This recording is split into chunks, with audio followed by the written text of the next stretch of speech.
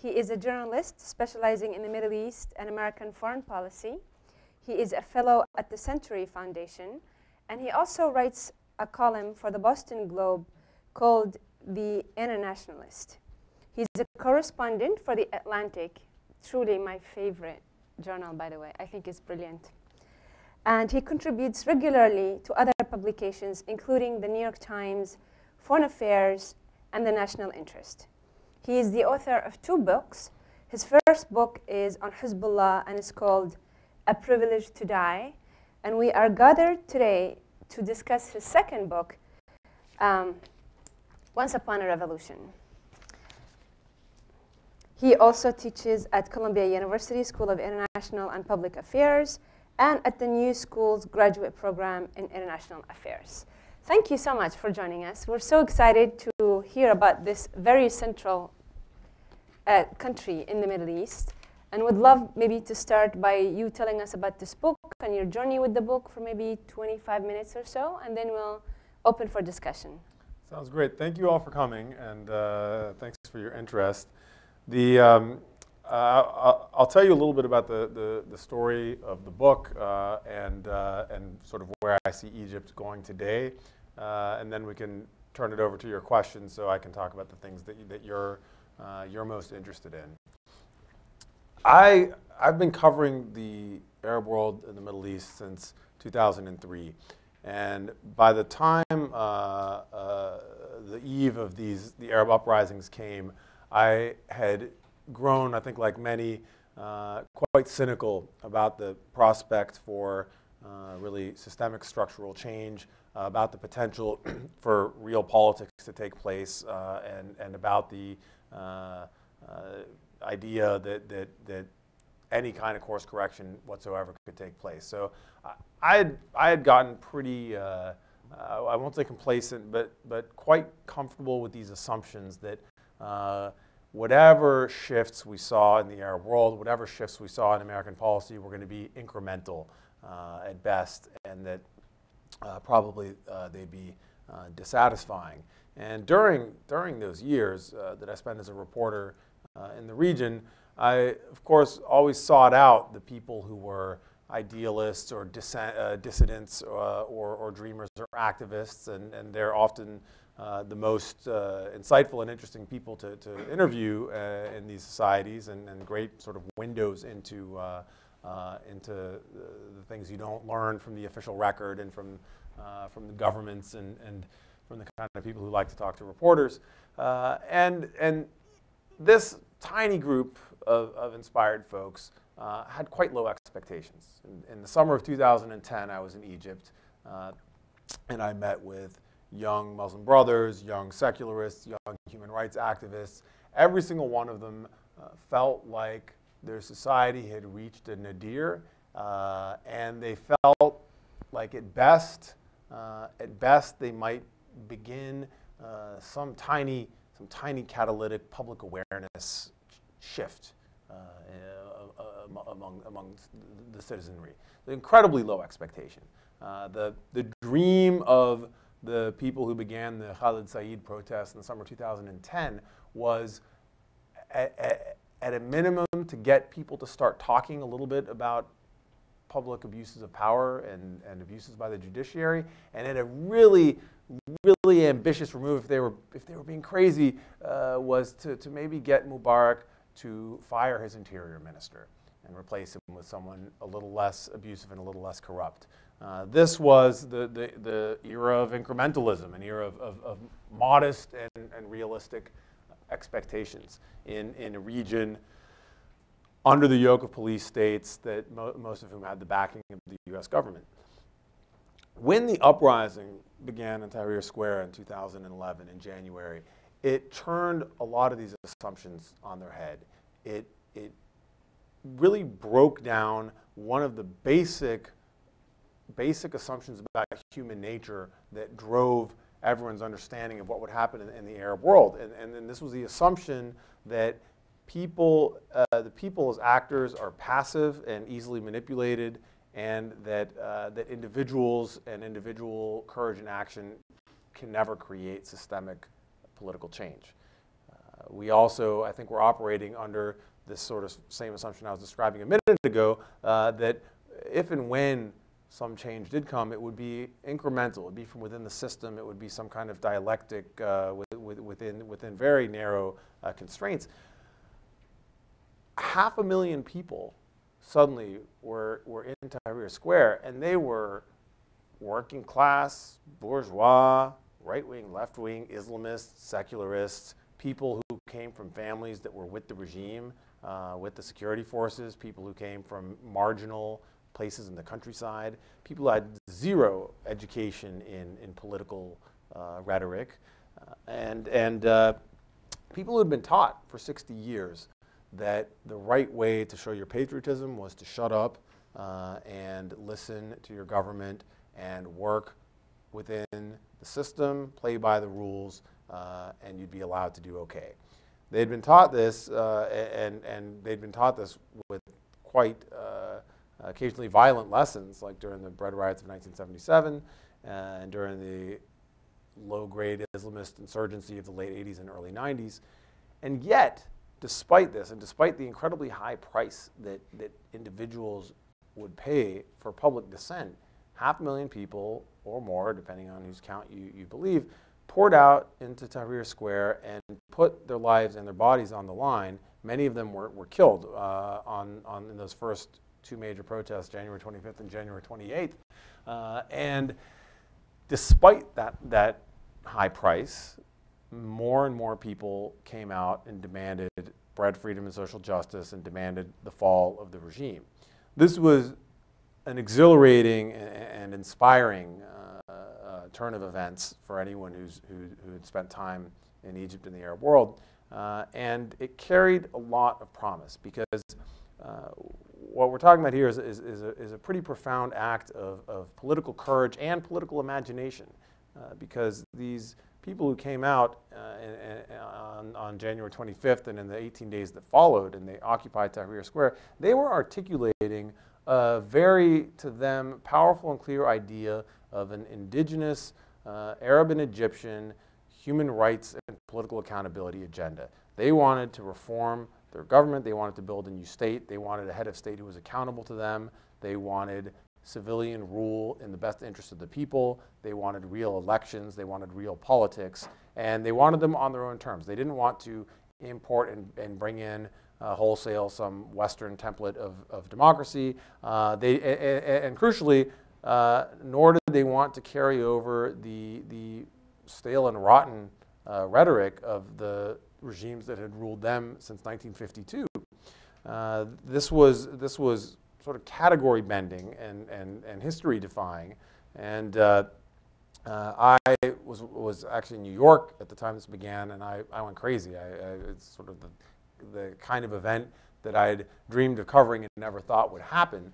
Uh, like, uh, like all the experts who had confidently predicted like th that something like this never could happen, that it was impossible. So I hopped on a plane. I went uh, directly to Tahrir Square with some detours uh, uh, put up by the state security services on the way. Uh, and when I got there, I sought out the core group of organizers who were at the, at the center of the uprising. Uh, because even in the, in the middle of something as, as spontaneous and chaotic seeming as, as the occupation of Tahrir Square, there's always some kind of infrastructure. There always are leaders uh, and people who are, are catalyzing and, and, and, running things.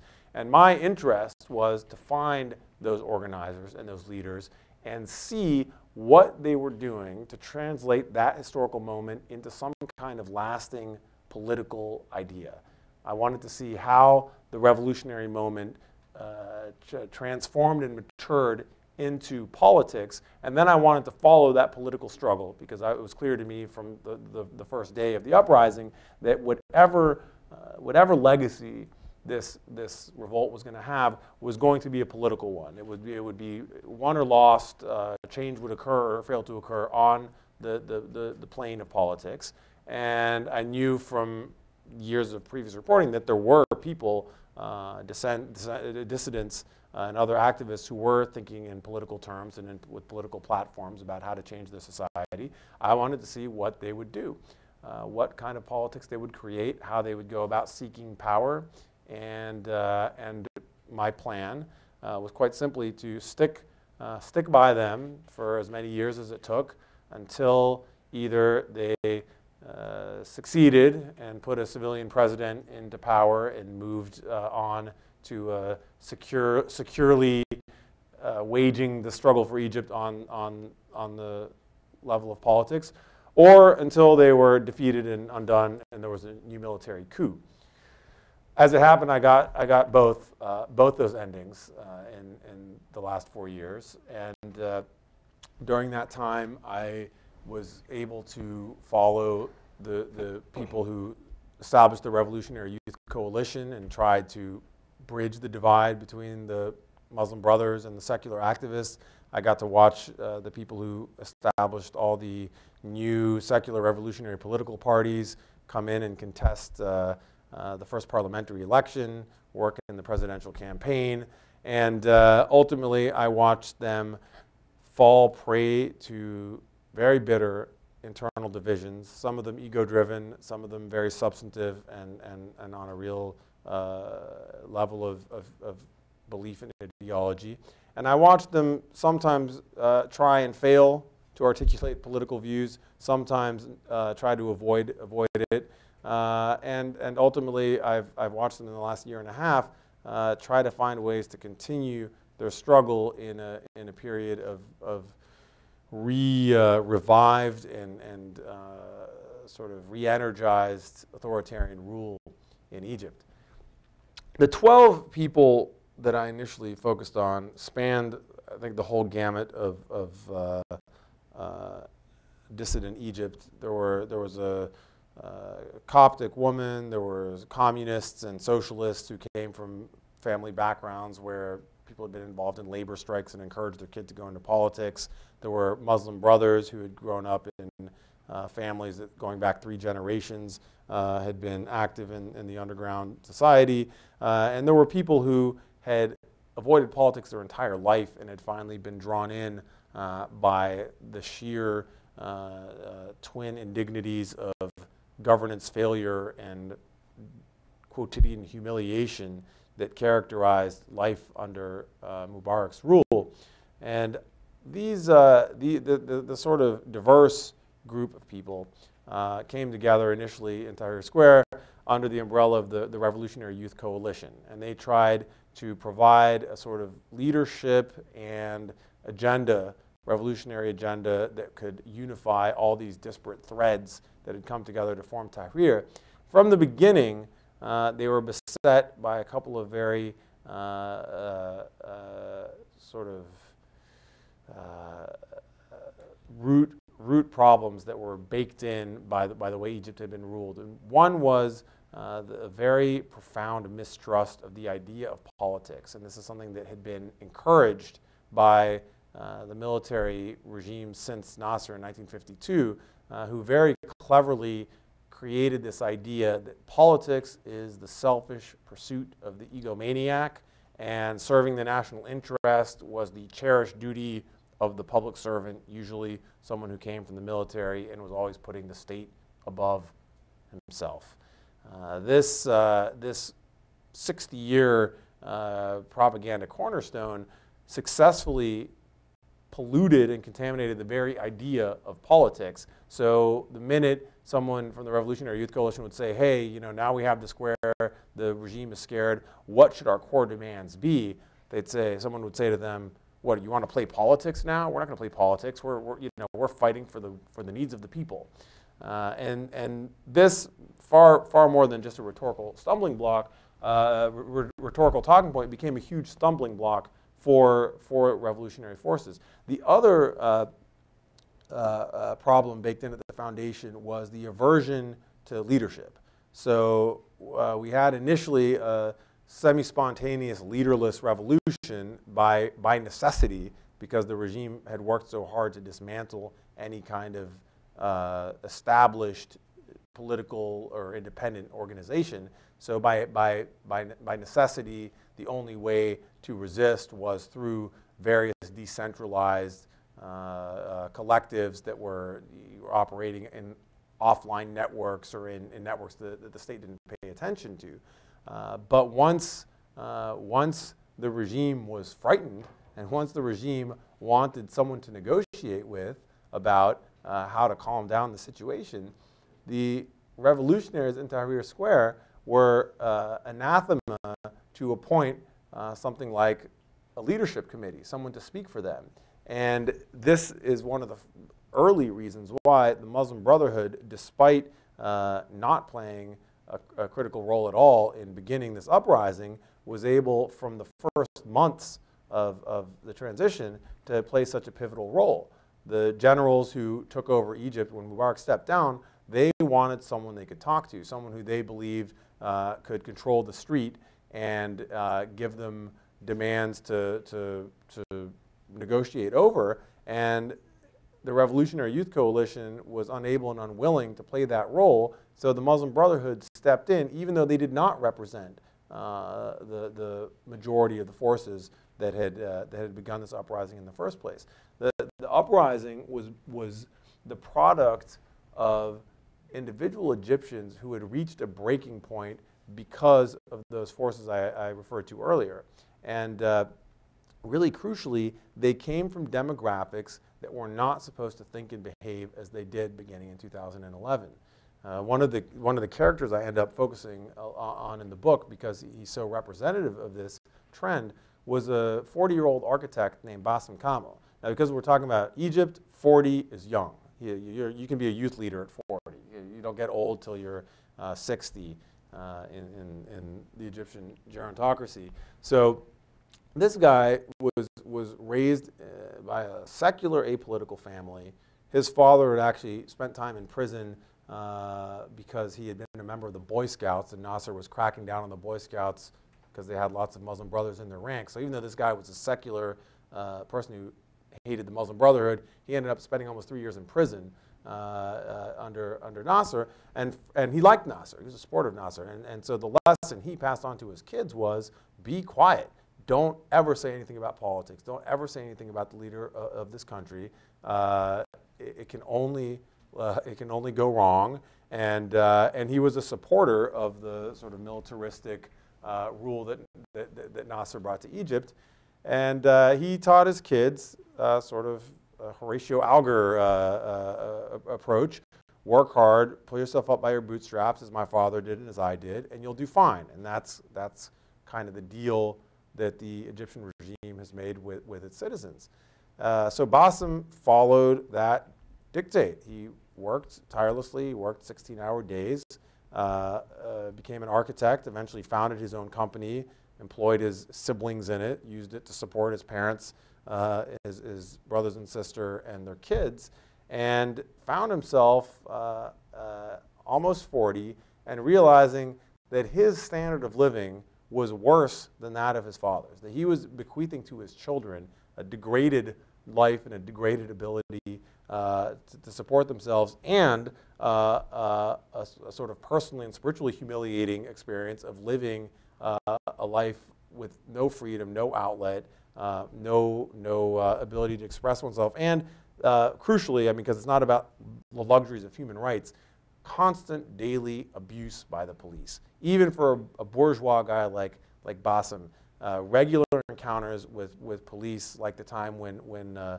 one of his uh, young female relatives was sexually assaulted and uh, they went to the police for help and the police laughed at them, uh, uh, took no interest and, and said, if you arrest the guy yourselves, we'll lock him up. And, and, and that, was, that was sort of what are the better kinds of interactions uh, uh, people would have with, with the Egyptian police. So this is it's not about, oh, we, are lacking freedom. It's about being constantly mistreated in, in, in really fundamental ways. This dro drove this completely moderate, modest, apolitical guy uh, in the year before the uprising to, uh, to join an underground uh, dissident movement and risk his livelihood, his liberty, and, and the well-being of his kids uh, because, uh, not because he was ideologically committed to some political project, but because he could no longer bear uh, to submit to the, the, the sort of humiliating collective failures of, of the regime that was ruling him. And I, I, I take so much time to describe this because those conditions all pertain today again. So all these uh, core grievances and failures that drove the most unexpected types of people uh, to risk their lives and rebel against their government are all uh, either the same or worse today as they were four and five years ago. And, uh, and that is a, a really key fact uh, to keep in mind as we analyze what, what, might, uh, what might happen next in, in Egypt's, uh, Egypt's trajectory under its new strongman ruler, General Abdel Fattah al-Sisi. Uh, the years, I'm, gonna, I'm, I'm only going to talk a couple more minutes because I'd rather have time for questions, uh, but I just want to touch on a, on a few of the, the, the key lessons, I think, from, from the four years since, since the magical 18 days of Tahrir Square. Uh, in, in that period, uh, a couple of, of, critical things happen. One is that uh, the, the revolutionary forces uh, really trip themselves up over their inability to put common political demands ahead of their very real divides, uh, especially the divide between secular and Islamist activists. So even though all those people in the, in the activist sphere agreed that torture is wrong, that there should be accountability for the police, that there should be civilian uh, control over the military, a, a, whole raft of, of quite ambitious and, and uh, well articulated uh, demands that uh, could have formed the platform for uh, any kind of transition, including a, a full on transitional government, uh, because of their root mistrust for each other over questions of Islamism and, or, or secularism. They either failed or refused uh, to unify over a, a, a political agenda. Uh, equally, or if not more importantly, uh, we have to look at this period and realize that it, it wasn't so much that the revolutionaries failed uh, as it was that they were defeated. Uh, this, wasn't, this wasn't a case where uh, they got the keys to the castle and then they screwed it up. This was a case where uh, they created enough uncertainty that the old powers that be felt insecure, and especially in that first year, 2011, early 2012, the forces of the old regime weren't quite sure how and whether they would, uh, they would get their old privileges back and how and whether they would negotiate their own internal struggles between the military types, the police types, the old ruling party types. Uh, but by, uh, by dint of their tremendous resources and ability to infiltrate movements and lock people up arbitrarily and rely on capricious runaway uh, courts uh, and, uh, and violent security forces that were unscrupulous in their willingness and ability to manipulate the public and kill people in order to re reinstate um, the privileges of the old order, uh, they slowly, shrewdly, cannily, and persistently made a comeback and won a power struggle in, which was heavily mismatched in their favor. Um, and that's very important for, uh, for understanding how these things turned out. Um, and it's also very important for uh, understanding why the current order is not as stable as, as it might appear at first glance. Uh, the personal uh, the personal trajectories of, of Basem and uh, the other characters I, I describe in this book is very important because it's ongoing to this day and it is the struggle to articulate a new political vision for Egypt and then the struggle to seize political power. That struggle is continuing today. I'm not highly optimistic about its prospects for, for, for victory. I am optimistic, however, that the process that began with so many millions of people breaking through the wall of fear and uh, taking charge of their own political identity and destiny, uh, that that process can no longer be stopped by rank repression. And we see today 40 to 50,000 people in prison in Egypt. Uh, we see uh, regular massacres, uh, beginning with the enormous one uh, in August 2013 in, in Rabaa Nahda squares in, in, in Cairo. And, and, yet, despite that, a whole host of political actors is continuing inside Egypt as well as in exile to voice dissent, uh, uh, challenge the military and the judiciary speak out in public with their names, uh, and they're trying to organize, and uh, more importantly, they're trying now to do the hard, unsexy, dirty work of articulating a real uh, political vision for what to do the next time uh, the regime uh, teeters. And so this very uh, personal and sometimes abstract and sometimes boring uh, process, although I'm in Washington, so I, I, think maybe in this audience you guys like me won't find this boring at all, uh, is a process of political authorship. And it is underway. Um, it, is, it, it, it, can't anymore be intimidated into silence, which was the, the, the process uh, by which uh, Arab dictators for most of the, of the 20th century uh, kept their dominion. And uh, it's, it's quite inspiring uh, just on an emotional level to see individual, individual people uh, riding from prison, uh, agitating from exile, even uh, like Basem, who, who's been a little bit of a, a little bit comfortable with the return of military power, but he's running for parliament uh, this spring as a, as a dissident. Uh, all these different uh, political demographics continuing to voice a vision in, in defiance of, of the, the lockstep script set forth for them by uh, the state controlled media and a very uh, violent and domineering uh, autocratic government. So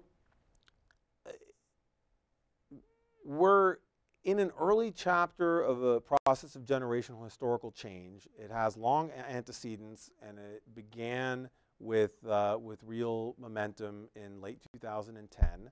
Uh, at a minimum, we're talking about a 20 year process. We have nearly a century that was shaped in the Arab world by uh, uh, an argument between the ideas of Arab nationalism and, and a certain idea of Islamism. Uh, and both those ideas are long past their prime. Neither of them addresses uh, the core grievance, uh, the core grievances of, of, of, people living in poverty or powerlessness in, in the modern world, uh, and people who have learned in their own lives to square questions of faith and patriotism uh, by recipes other than those advanced by uh, secular militaristic nationalists or by the Muslim Brotherhood. And there will be political ideas that reflect, uh, political movements rather, that reflect those new ideas and those new identities. And they will take quite some time to take shape uh, and translate into movements with actual power and actual force. Having watched up close uh, the attempt of those thousands of visionaries and those hundreds of thousands of uh, people who, for a time, were willing to respond to their call, I can safely predict that, uh, that, that they will continue to, uh, to grapple with these questions and they will continue to try and seek change in power. I have no uh, prediction and no unwarranted optimism about how that might turn out. Uh, I don't think what I just said guarantees that there will be a free, pluralistic Egypt 20 years from now. I do think, however, uh, that we will not see uh, Egypt or the Arab world ruled statically and, and uh, passively uh, as, uh, as it was for the previous uh, 60 years. So I think I'll, I think I'll leave it at that and, and turn it over to your questions. And and I, I, will tell you, the, the book um, is written like a, like, a, like a historical thriller or like a novel. It's not, it's not a work of policy analysis. It is a uh, work of contemporary history built around a, a pair of characters, uh, the secular architect, uh, the, the Muslim brother who gets expelled from the Brotherhood, and their efforts to, to lead a movement, and, and ultimately their efforts today to continue finding some way to keep the ideas of the original revolution alive. Uh, so if you're, um, if you're a, a, a, student of history or if you're interested in this question of how, uh, how and within what limits individual action and, and, and, and courage can affect the development of a political system, uh, it's, a, it's a good book for you to read, uh, and uh, I encourage you to take a look at it after the talk. So I'm going to start with a couple of questions and then I'll open it to the floor. But I first want to reiterate that it really feels like a novel, even though it's loaded with historic accounts of what happened and historic facts, both dating back to Nasser and before, but also at the same time how individuals shape these historic events and how they made them happen or how, how they reacted to them. So uh, you just said eloquently that uh, the youth uh, do not have any real political training. And um, in her biography, uh, Cl Secretary Clinton noted that when she went to Egypt, the youth were not only completely oblivious to how the political process takes place, but they were not even interested, she said. And yeah, it, it really, once one wonders, I know that Egypt started to crack down on all foreign organizations. And I believe right now, from my talking to some of my activist friends, that there is an awareness that we have to learn the game of politics. So if there are no international organizations allowed to train people on democracy and election and organizing, how are these people to learn these skills? Uh, well, I'm quite jaundiced in my in, in, about the view that international organizations or American groups are really well positioned to teach anybody in uh, in contexts like Egypt or elsewhere uh, useful and applicable lessons about how to engage in politics uh, beyond certain basic technical training, which you don't need uh, an American expert to give you. I don't think there's actually all that much that they have to offer. That's a separate thing. I'm so glad you brought up that Clinton anecdote because I, I, was there when that happened. It was actually one of the funniest illustrations of how Washington fails to understand the world. So uh, uh, in the in the spring of 2011 or, or early summer, Hillary came to uh, to Egypt and and she told one of her aides, "Oh, you know, I, I want to meet with the revolutionary youth leaders." Uh, and of course, the revolutionary leaders said, "We're not going to meet with Hillary Clinton." Uh, you know, the, the, the, last thing we're going to do is, is have a public encounter with the American Secretary of State uh, at, at, at, this point in time. No, we, we, we, re we reject America. We reject uh, American meddling here. We won't meet with Clinton. So, uh, so whoever was in charge of finding someone to stick in the hotel conference room with, with, with Clinton rounded up some nobodies. I mean, literal nobodies, buffoons. So a group of buffoons go in there and they said a bunch of stupid stuff to Hillary Clinton. Now, the people who were actually the revolutionary youth activists also say a lot of stupid things, and you can read some of them in this book. You know, they're not they're not geniuses. They're not. I mean, sometimes they are inspiring and, and creative. Sometimes they're they're stupid and knee-jerk nationalist or reductionist or completely unimaginative politically. But they were full throatedly involved in a political struggle that they understood as political, and they were talking about politics all the time, all the time. How to get political power, how to define their political agenda. They were talking about politics morning, noon, and night. They wouldn't shut up about politics. So to misunderstand what was happening at that moment and think, oh, these activists don't care about politics. No, they're not good at politics always. Uh, uh, they have some really bad ideas about politics, but the problem is not that they're not interested in politics. Now, these random folks who showed up, uh, I guess, weren't interested in politics, but that's why they weren't part of the scene. Uh, and, and uh, you know, sort of, it's easy to pick on that because it's such a, it's like a silly moment, but it does, um, it does speak to something deeper, uh, which is that um, in, in the real in the real field of politics on which these these these activists were uh, taking part, uh, they were unbelievably naive and unbelievably tactically stupid. Not in a way that NDI and IRI training would have somehow prevented them mm-hmm. uh, from being.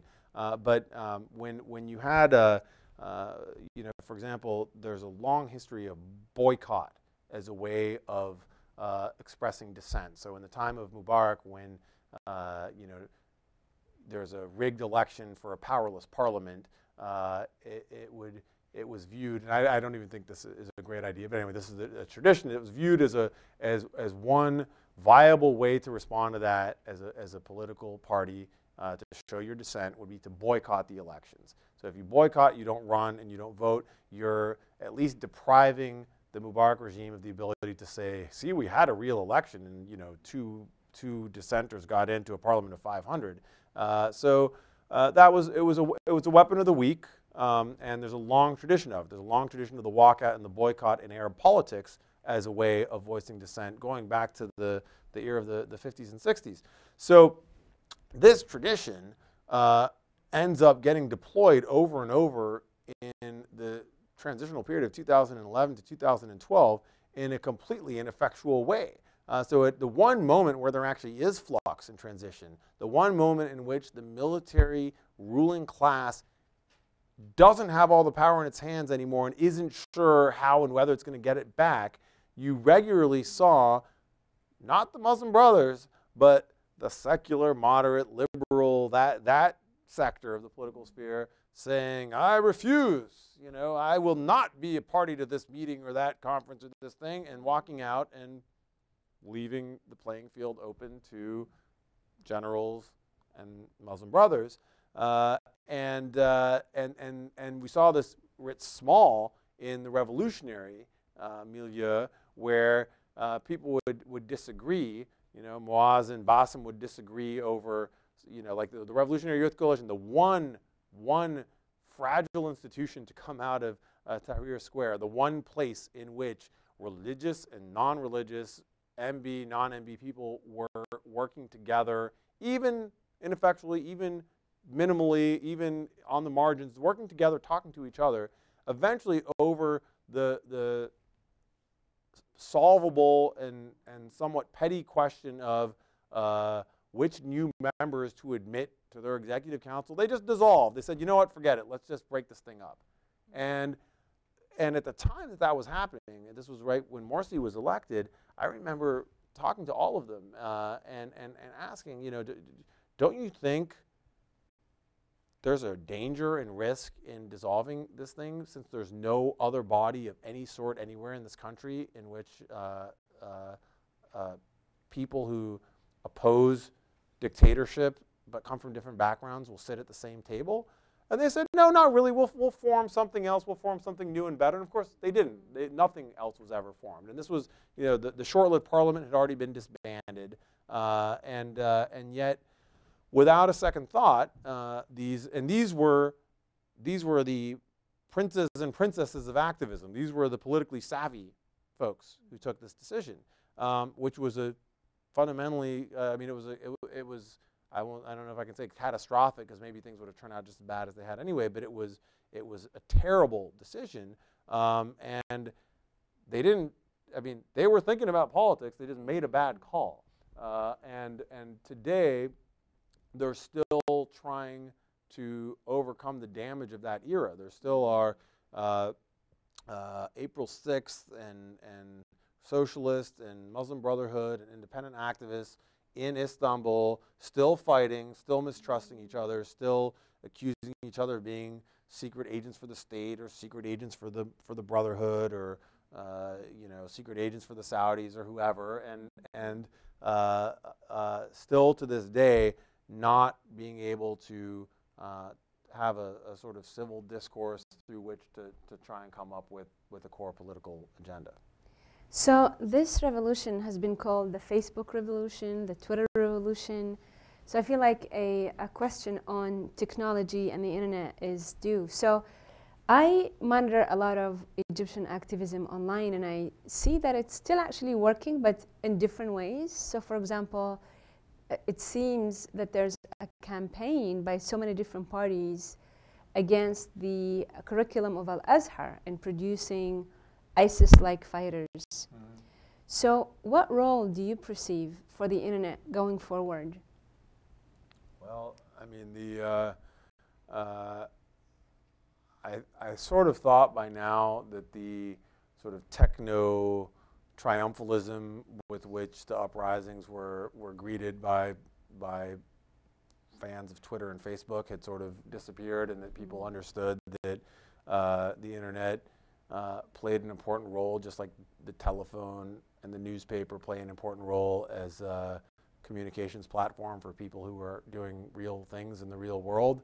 Uh, the, the key innovation of Facebook primarily, and to a lesser extent Twitter, is that it created a space that allowed a conversation to go on uh, in societies in which there isn't actually public space. And YouTube, Um, I would add, don't you think? Yeah, yeah. I mean, uh, people are making their own channels and videos, and everybody has their own channel, and it's I think It's act, I think actually less. I think I don't think YouTube is as important for the thing I'm talking about because Mm. YouTube is like you know your bullhorn where you put something out. But but the, the thing that's actually has had so so I, I don't care about techno triumphalist uh, BS. I care about things that that change the way uh, uh, real relationships occur in, in the real world. Um, and and uh, with regards to that, you see Facebook and Twitter playing a, a, a very important role because you have uh, so do, so in other words, like the way in which YouTube, uh, Facebook, and Twitter are used today by the Egyptian regime or the Syrian opposition to advance certain propaganda aims is interesting, but it's not very determinative to, any, to anything people actually do. However, the conversations and, and mobilization uh, that have been occurring on Facebook and Twitter uh, over, over during that same period, both among pro-regime forces and anti-regime forces, that is uh, very important because it's uh, like a lot of the networks of people who then have proceeded to go out and be, uh, whether they're demonstrating, whether they're campaigning for, for military rule or campaigning against it, they are creating their networks online and they're deepening their relationships online. And a lot of the, the political discussion and debate that did occur and does occur today is happening in Facebook threads. Um, and that is very important because it's, it's, uh, it's real uh, dialogue, idea creation, network creation. and individuation that you have an opinion even.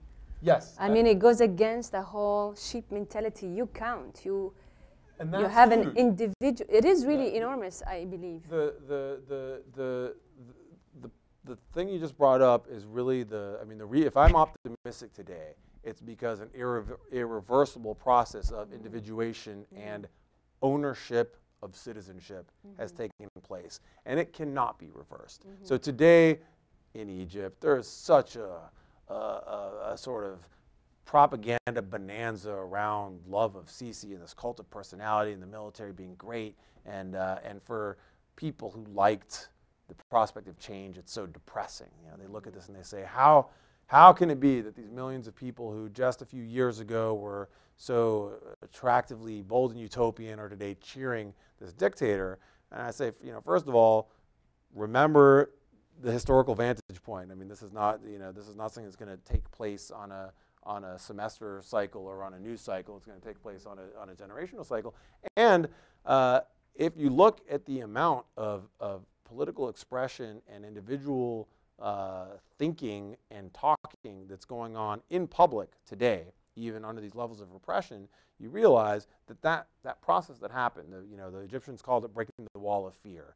Uh, academics would call it individuation or, or, or, you know, sort of realization of agency. But it happened, and once it happens, uh, e- even if an individual then goes quiet for a while, they don't become once again a passive receptacle uh, uh, for an authoritarian state. Uh, and that, that means, uh, and, that, and that's something that, that I think the, um, the regime has either misunderstood or has forgotten. Uh, they're going to have to contend with that. They don't necessarily have to contend with it by liberalizing or reforming, uh, although that would be one nice option, uh, but they do have to take it into account. So we'll open the floor for questions. Uh, please. Yes, sir. And if you could just wait a second for the microphone. Thank you. Yeah. That on? Yeah, okay. I'm Jed Schilling with the Millennium Institute, and I've got a two-part question looking forward. One, the Sisi regime is apparently trying to make some economic reforms on energy policy, renewables, uh, housing providing, and things like that, which will make life better for many more people than has been the case in the past. Do you think that it's likely this will have much success and go forward and get the support of the existing uh, uh, elites and those who've been in power for so long? And the second point is given the threat of ISIS throughout the Middle East, do you think it's important to maintain a very strong government in Egypt to protect its longer term interests from that kind of um, extremist violence that seems to be going on? So it's sort of two, two paths looking forward. Great, great questions. Um, you know, I think like like any hopefully decent human being, I want Egypt to succeed. Uh, there's 90 million people who live there, most of them in abject poverty.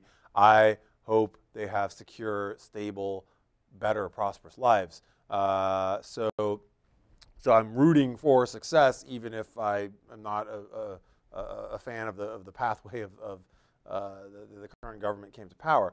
Uh, so, so, so that said, you know, Sisi is younger and more vigorous than his predecessors.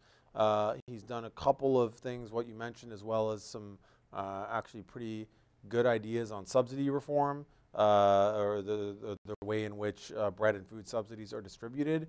I hope these things work because they're sorely needed. Um, why I'm not optimistic? I'm not optimistic because this man is ruling from an incredibly narrow circle of military men who have a proven track record of incompetence, uh, even in their core area, which is running a military. Mm -hmm. So, you know, in a, in a nation of, of, of, of, of, sort of decrepit institutions, the military is, in Egypt is the most popular one, uh, and it's, you know, it's a functional one. Uh, that has led people to exaggerate its, its competence. Um, and uh, and so I think from an analytical point of view, it would be foolish to expect uh, the, the, the Egyptian generals who've given us many of the biggest bungles of the last 60 years to somehow using the same minds and the same insular, cloistered, uh, and autocratic approach, the same indifference to good ideas that come from elsewhere, uh, and the same indifference to scrutiny and accountability in just the technocratic realm, uh, why would one expect that? And, and, and, sorry, we've come to power with billions of dollars of direct handouts from, from the Gulf. Why should we expect them to, to be economic geniuses? Uh, because the problems are very complicated. The problems would, would, would, would baffle a, a, an economic genius. Uh, so I, I, just don't think the smart money is on betting that, that, that they'll somehow have success. I hope they do. Uh, the security issue uh, is, uh, is a great one to bring up because the security problem that we now all agree uh, in the buzzword of the day, we have to get together to counter violent extremism.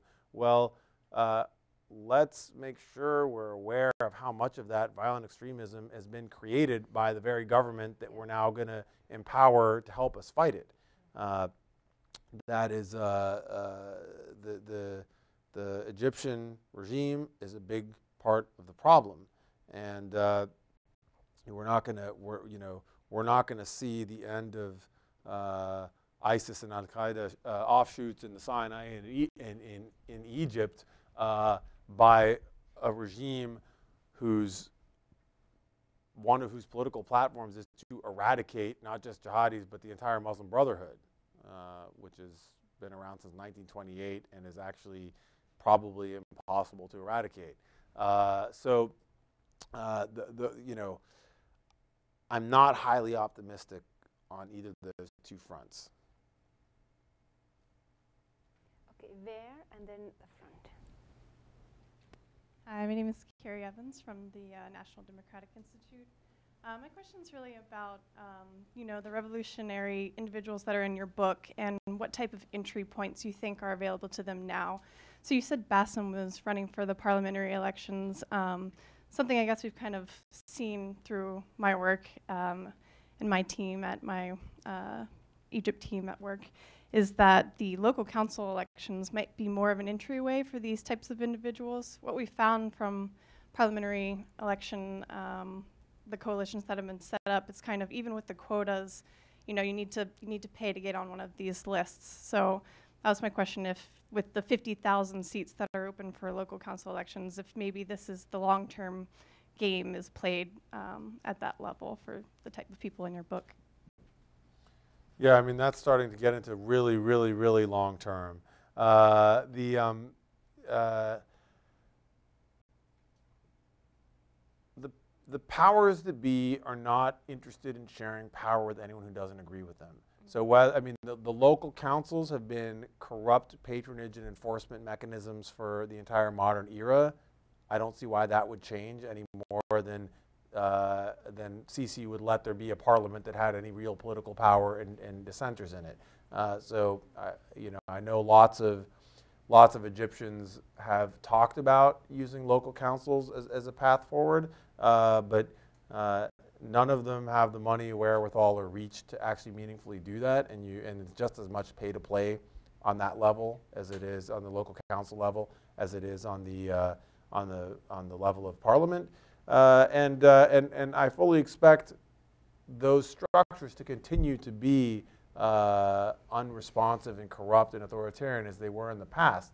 Uh, I, I, think if you go look at a, a, a local council in an Ashwayat or in an Egyptian village in a year's time, you will find it being an enforcement arm of patronage or regime control, not a, uh, a, venue for local accountability and, and self-improvement.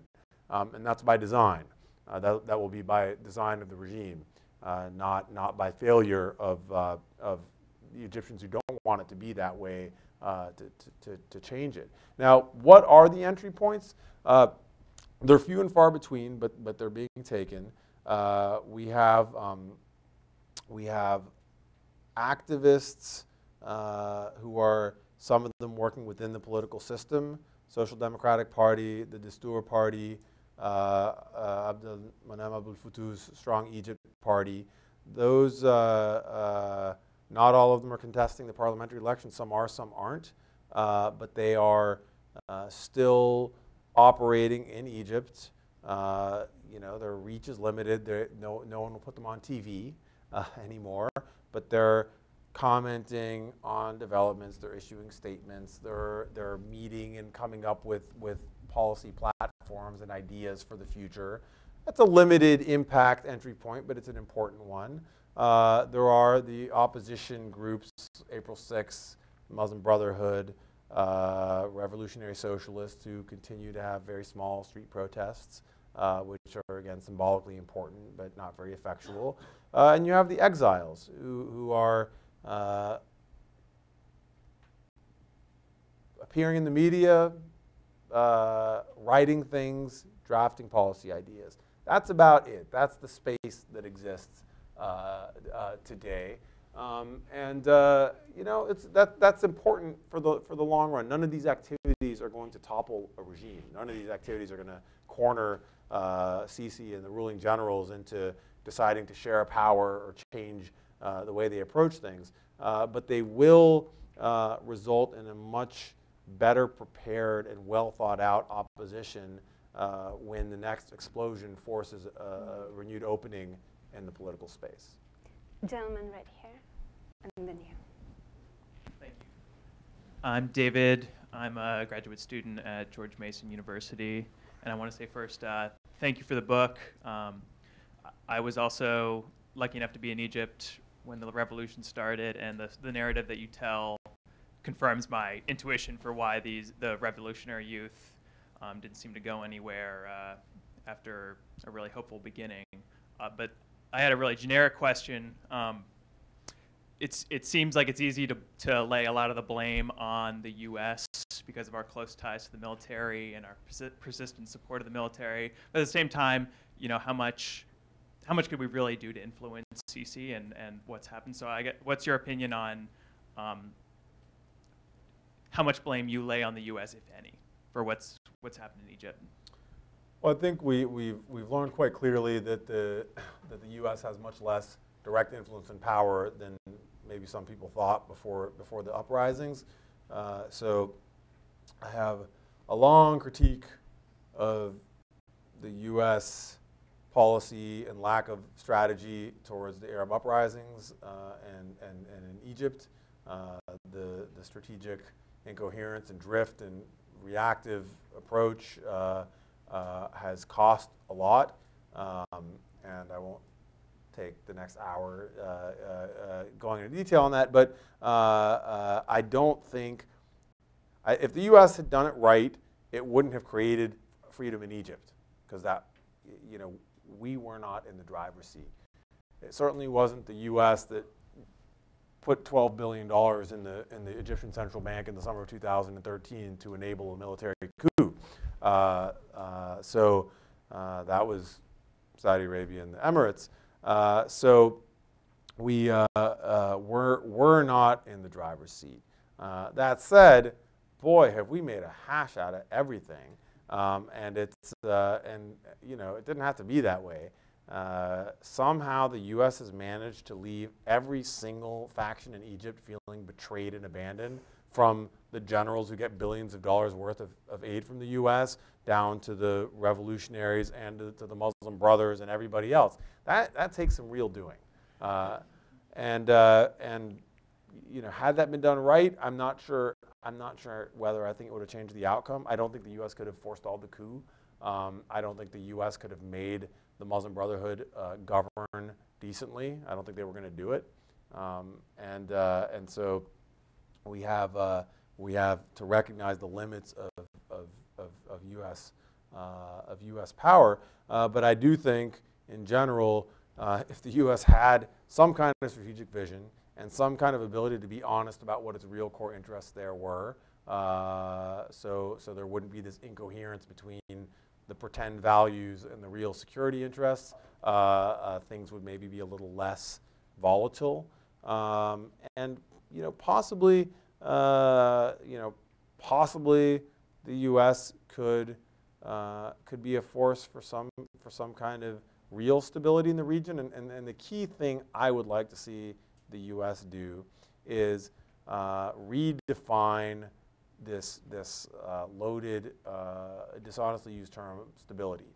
Uh, uh, everyone, everyone wants stability, everyone likes stability, and the U.S. has made this now a lodestar with Egypt and with a lot of the countries in the region, which is, you know, we want stability. Well, st you know, Egypt today is inherently unstable. Mm -hmm. It is represented by a government that, that relies on a fundamentally dishonest reading of what it's doing and what its own people want, uh, and, and is, is endemically uh, abusing them into quiescence. That is not stable. That's not the recipe for stability. Every single condition that led to the unpredicted and unpredictable series of mm-hmm. explosions in 2010 and 2011 is still present today. And we say, well, we need stable allies like these corrupt, nepotistic, violent tyrants who aren't really great allies. It doesn't, I mean, it's, it's not going to work. Forget about what your, you know, Maybe you find that distasteful. Maybe you find that just a necessary way of doing business. Okay, fine. If you're analytically clear headed, you should be able to see that it's not a safe bet. It's not stable. Let's redefine stability as systems, democratic or not, that have safety valves built in, some kind of accountability, some kind of pluralism when it comes to policy ideas, and some kind of pluralism when it comes to the rights and, and dignity of their citizens because otherwise you're, you're hitching yourself up to systems that, that are you know, manholes on a, on, a, on a steam valve. I mean, it just, it, it's not, it's not architect, the political architecture is not sound. I'm so glad you said that, because I totally agree. Uh, here. Uh, Manar Gounem, Middle East News Agency, Egypt. Uh, first of all, I highly appreciate your understanding of the Egyptian culture and the Egyptian people. Uh, second, I want to ask you that uh, you have said that uh, the, uh, these dissidents that you talk about them, that they are still stupid in politics. They, they still don't know politics very well, and they, they are not taught of politics in a sense, in a good sense, in a sound sense.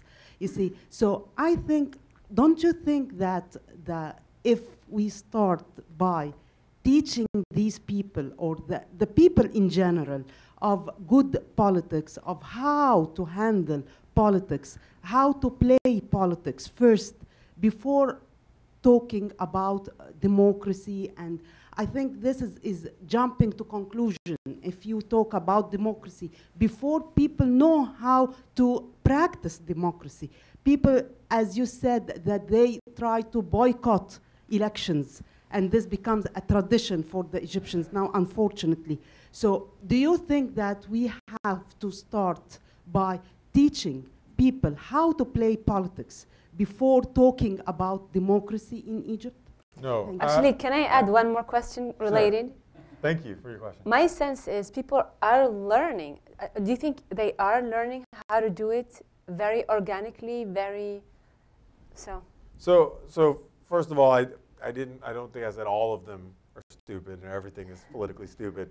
Uh, uh, some, some, okay. Uh, and um, uh, look, I got, I, I, think I understand your question. It's a good question. Um, I think, I think it betrays, um, it betrays a sort of misunderstanding of, of politics. Even that, that question, I don't, I doubt you mean it this way, but that question is built on a misunderstanding of what politics is. Politics is the process by which people try and figure out how to divide political power and how to rule themselves. No one in Egypt is in a position to teach anybody else what is good politics, least of all today's Egyptian regime, which knows nothing about politics, which is allergic to even its own internal politics. There's politics ever. There's politics inside the military of Egypt, and because they don't know how to manage their own politics, we have leaks of private conversations between the president's chief of staff uh, and, and, and, and other powerful generals that are incredibly compromising to the regime. These things happen because there is no politics allowed. So it, it leaks out in other places. So no one's in a position, uh, least of all the leadership, to teach anybody else politics. Politics is learned by doing, straight and, and simple. You look at a country like America, sometimes the politics are, are just a wreck. They're terrible, you know, and, and you know, you wouldn't say, hey, let's teach someone else in the world how to do politics the way we do it. Uh, but, but on the other hand, you wouldn't want someone to come in and teach us how to do politics either. Politics is how a society negotiates these things. Um, if that process is not allowed to take place, which is the case today in Egypt, uh, you have retardation uh, on all in sort of all possible areas. If you allow it to take place, people often do stupid things or take stupid positions, but by nature of the negotiations over what to do about that, uh, you get change, progress, dynamics. Uh, so, uh, so Egypt ever has a better form of government, which I hope it does, it's going to happen on a distinctly Egyptian path. Uh, no one, uh, and le least of all would I purport to suggest what that path should be. It's going to happen because of Egyptian aspirations that are then negotiated by Egyptian power centers, uh, and partly it'll be because of aspirations for freedom and for ideas, and partly it will be because of uh, failures by the people who have power to deliver the things they have to deliver in order to stay in power. And so, because of that, not because of moral reasons, but because of that practical concern, they'll gradually be willing to share some portion of their power with someone else.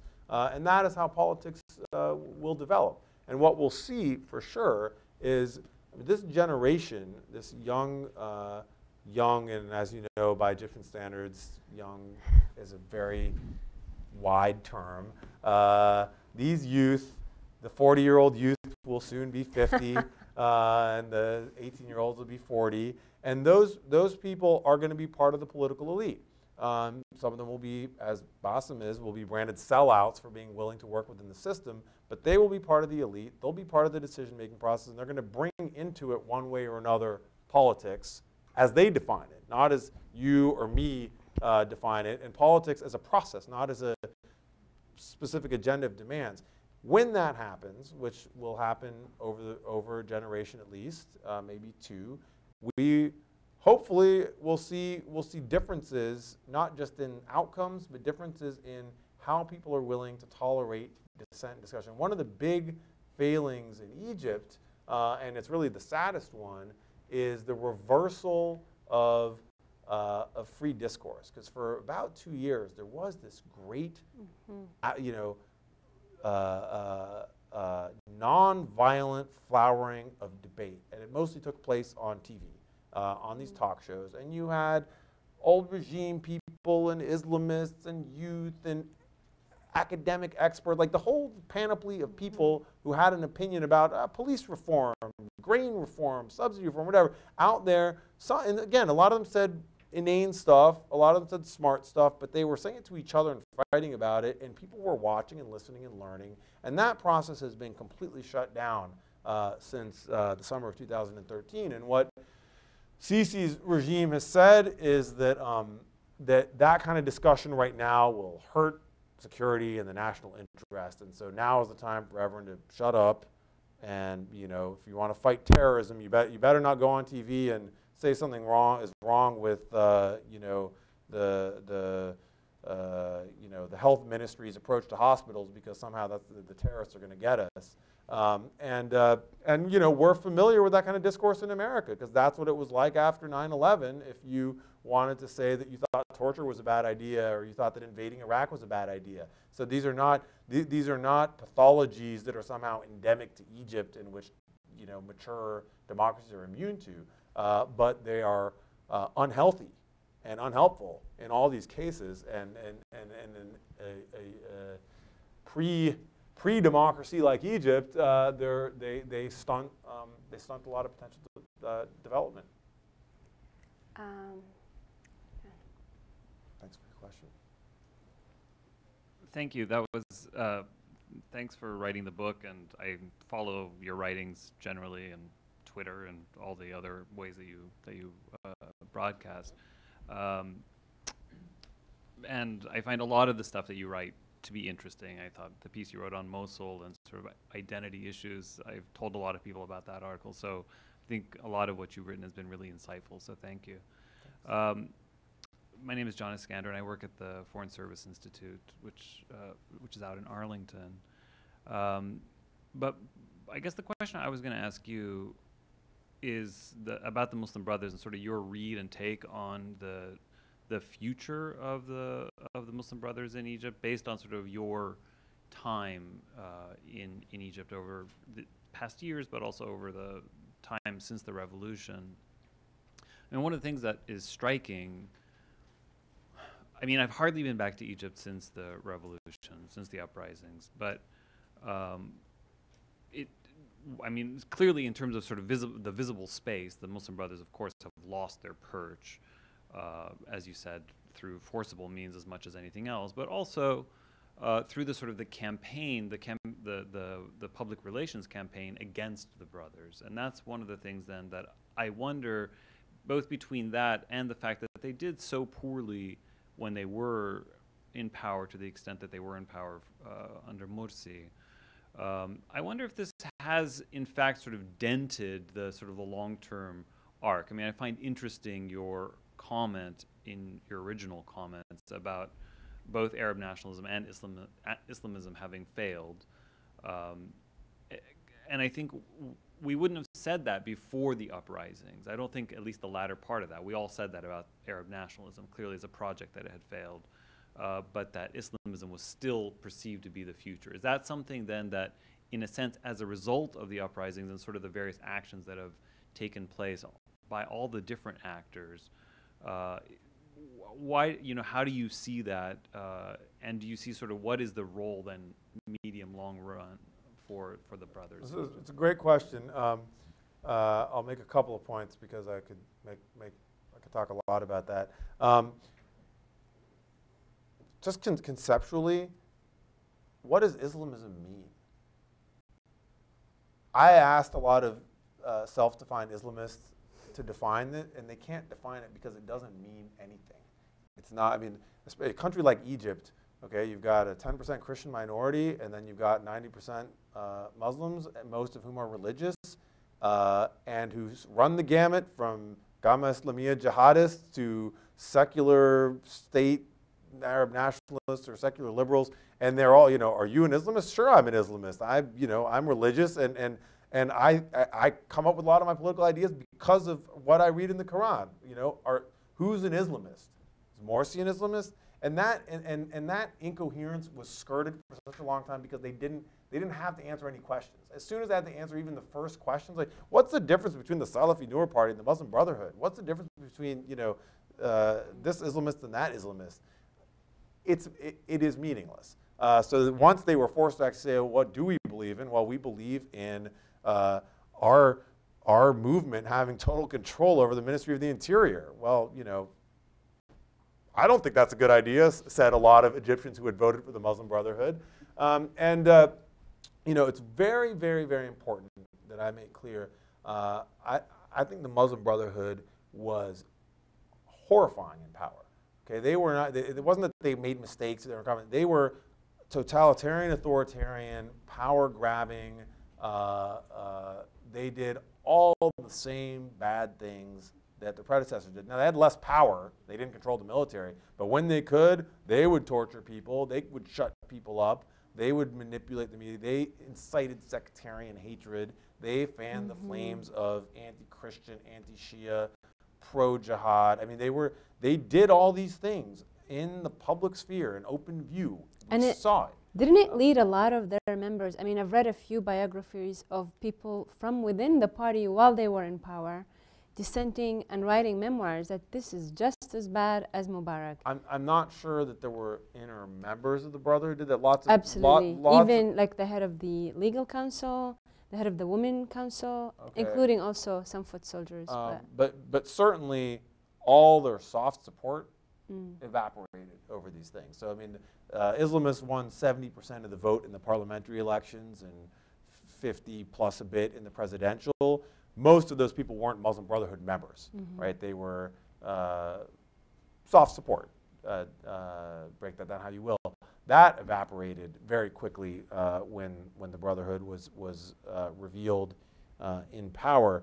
Um, now, what um, what about going forward? the Brotherhood is stuck in a rut. The Brotherhood has not learned any lessons mm-hmm. from from the the the failed presidency and from the coup.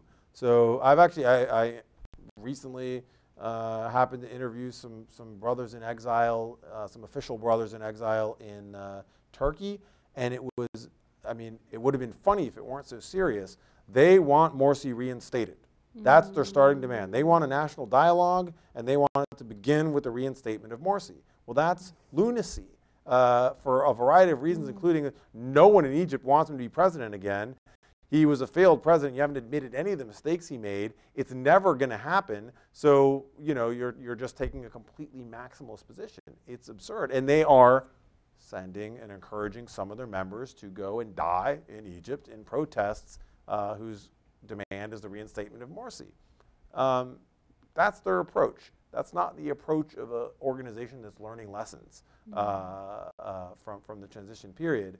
Um, now, like the Egyptian army, I guess. Uh, they're, uh, uh, they're doubling down. Mm. Um, but I think a lot of Egyptians, when, the, like, when this period of Sisi euphoria fades and uh, probably most of the, the systemic problems remain, uh, we're going to find uh, a lot of, I mean, Egyptians are, are, are, are fundamentally pragmatic,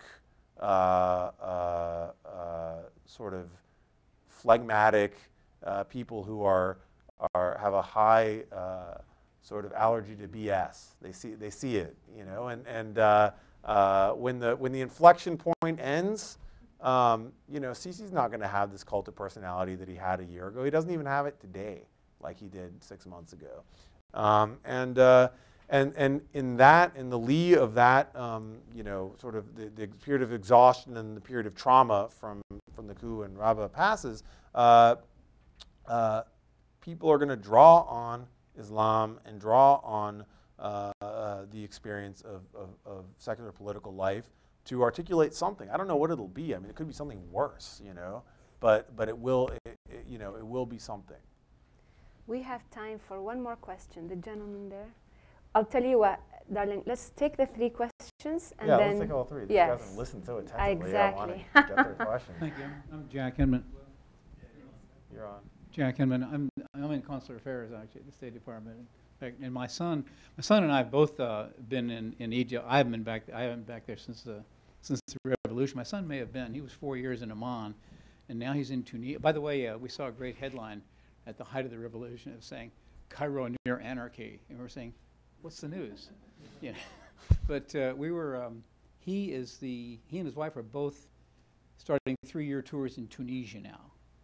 And I was just wondering if you got any, wanted to, if you is that a whole other forum you don't want to get into, or do you want to say anything about about Tunisia or or from that, that matter about the role of the Coptics. I know there's about three different forums there, but uh, Great. if you want to Take say all anything three about questions, and then I'll touch on some of those things. Yeah. Mohammed Mansour, former journalist. um, I just have um, a comment first about the title of your book. Uh, how did you think about, or what do you mean by uh, um, once upon a revolution? Uh, second, about the um, now we are given the fact that there's crackdown on on media, on uh, lots of human rights abuses, lots of people in jail, lots of uh, many massacres happened. Um, is there a way to um, to get out of this?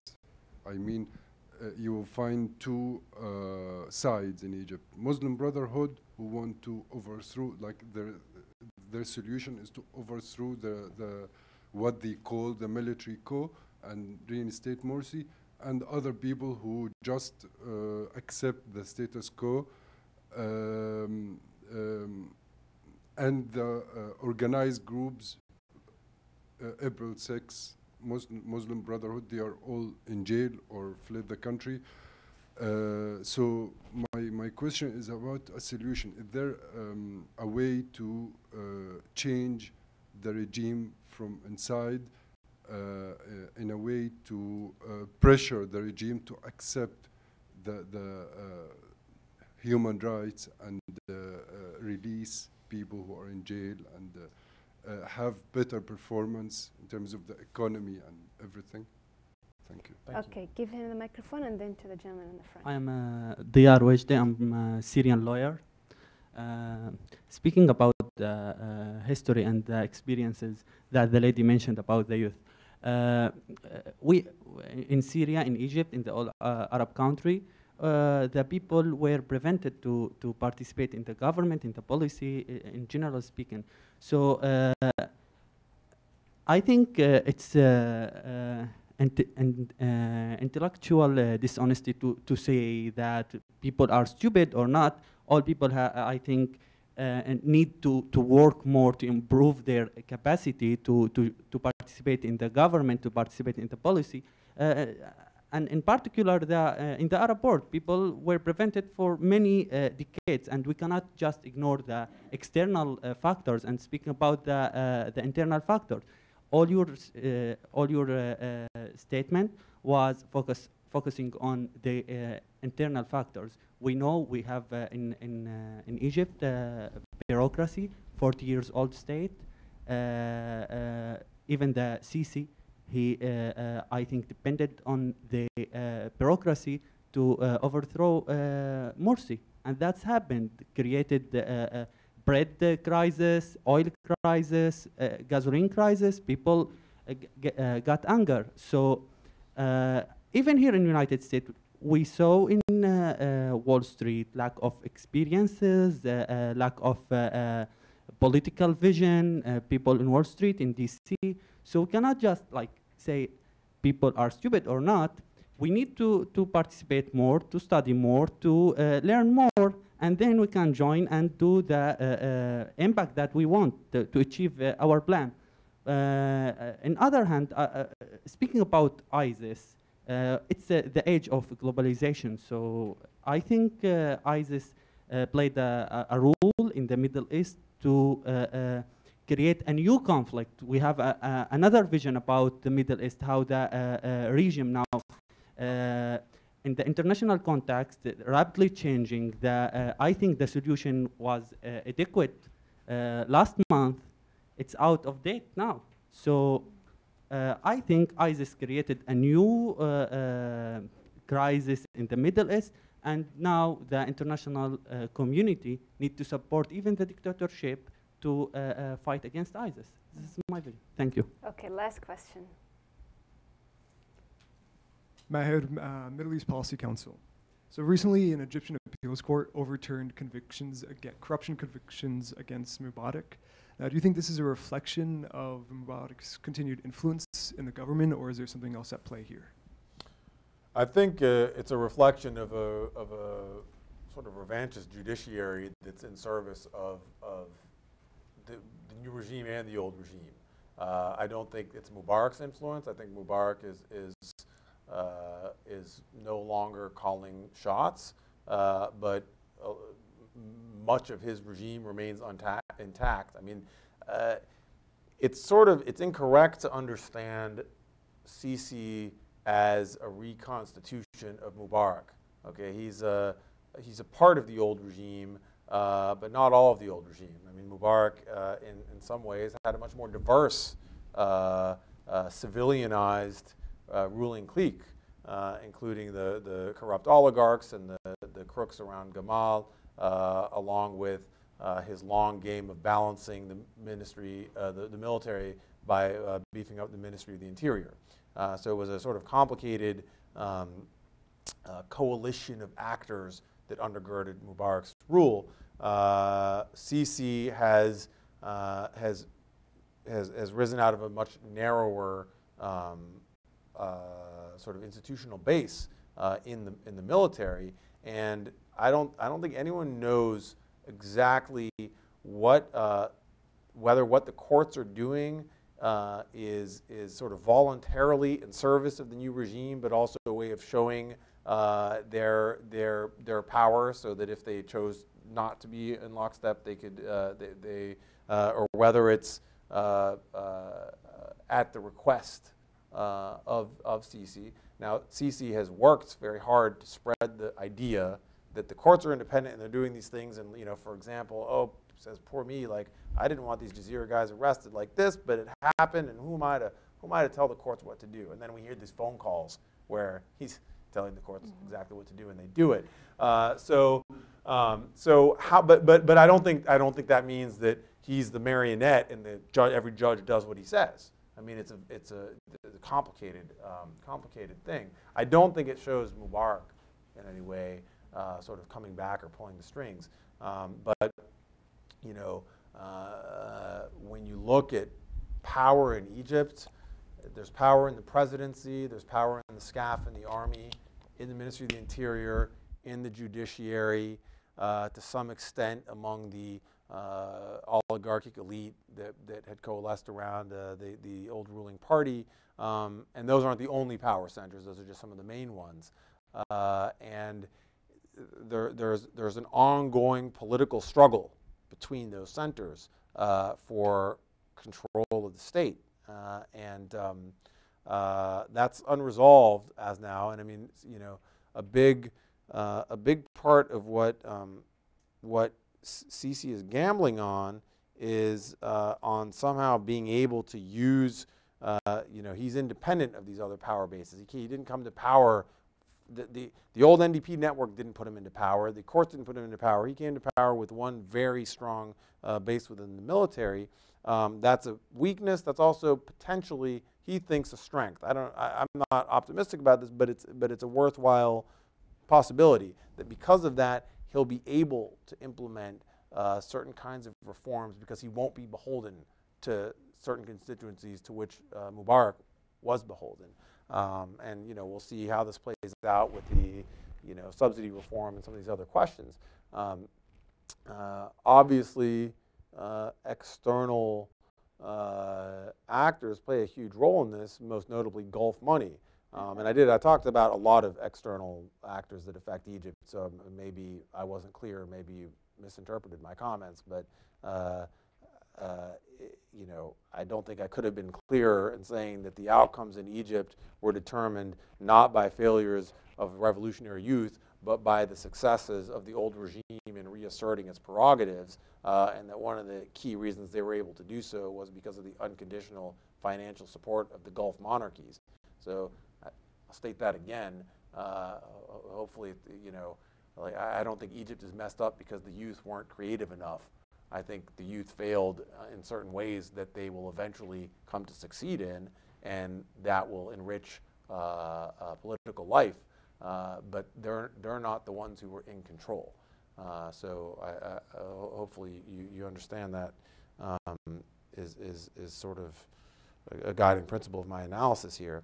Um, the uh, uh, uh, the questions about you know what what could happen next and um, uh, you know what what are the possibilities? I, this is where I'm just as sort of pessimistic as anybody else. I mean I think uh, uh, the thing I find encouraging is when you know I hear uh, uh, the current leaders of April 6th in in Cairo talking in a very sophisticated way about, uh, about coming up with a long-term alternative to military rule. So they're, you know, they're tiny, they're in battle, there's not many of them, they're organizing in secret, uh, but they've learned a lesson from the last four years, and so they are still calling for the fall of the regime, they're still calling for protests, but they are also spending a lot of time uh, feeling responsible for describing what it is they think should replace that old regime, um, which is not, was not the case four years ago. People were like, it's not my job to figure out what comes next. It's my job to, to, to push them out of their chair. Um, that I find heartening. Uh, so I hear that. Um, I hear that among the Social Democrats, among the Dastoor Party people. I hear that among the um, among uh, April 6 folks and Abdel Fattah's people. I hear that among some independent uh, independent activists. I don't hear it.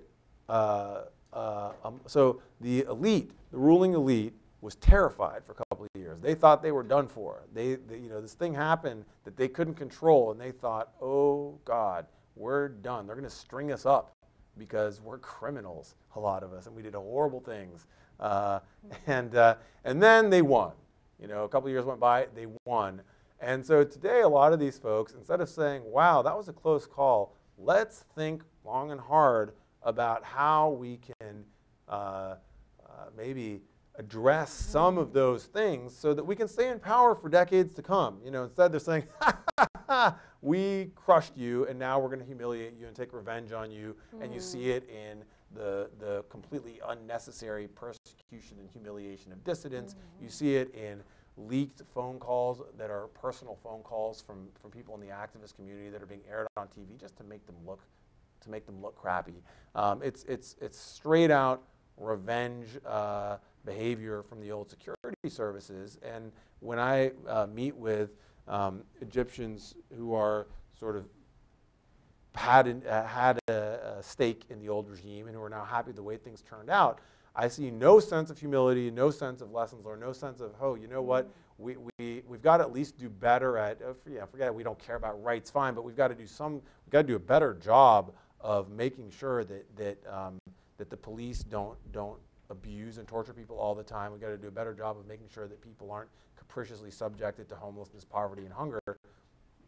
You don't hear that. Um, and, uh, and so if you ask me, what do I realistically think is going to be the, the next change point? It's going to be another, uh, another breaking point uh, created by rank incompetence or mistreatment of, of the public. It's not going to be because of some brilliantly organized coalition. You know, I, I think the last thing I expect to happen is for you know the dissident political class to somehow coalesce under a you know an, an unbelievably well thought out unified manner in which Islamists and secular Egyptians together, you know, have come up with 10 core demands and have a president who of their movement. Like, I don't think that's likely to happen anytime soon. But what is likely to happen is is is a kind of, uh, you know, a kind of collapse or inflection point caused by uh, fracture. Uh, so, on there that, was Tunis. Tu yeah, I mean, Tunis and the Copts. Those are the you know those are great questions, and it's a long thing to try and compare why, like why Tunisia has worked out better to why Egypt is, is, is, is not. Um, but but I, I, don't think I want to start okay. into that. Alrighty, uh, well, we'll conclude here then. Thank you so much for joining us and for this great book. And thank you for your questions.